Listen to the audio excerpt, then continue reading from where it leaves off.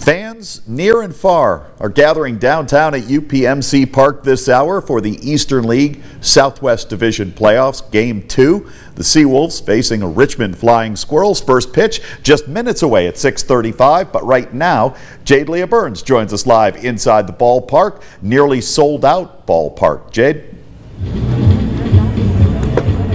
That's right, Sean. I'm joining you live at UPMC Park, where if you're still looking for something to do tonight, there's still tickets available to see this playoff, special playoff event.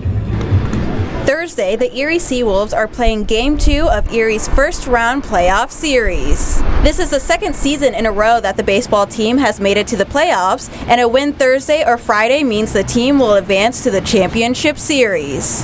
Greg Gania, who is the assistant general manager for the Erie Seawolves, says that minor league playoff appearances don't happen very often. The team went over 10 years without making a playoff run, and to have this in back to back seasons is, is really special. Gania says that every year the Seawolves bring millions of dollars to the region, but the playoffs are something special for local businesses. Whether that be restaurants, bars, uh, hotel rooms, um, people that travel in to watch the team play, um, and and you know it's just it's it's a, it's such a big thing for this community, and uh, and we're, we're proud to be stewards of, of the community, and, and anything we can do to give back, we always do it. Local bar owner David Freeman says they are expecting a large crowd before and after the game. People come as far as Pittsburgh, Buffalo, Cleveland to see the games, and uh, it's always a pleasure to see some of our out of town guests. A lot of Freeman's business is generated by location. Big Bar is just one block away from the ballpark.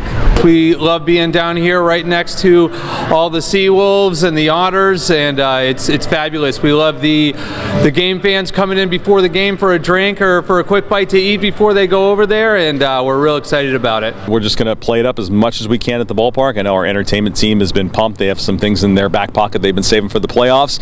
Uh, so uh, so it should be a fun night.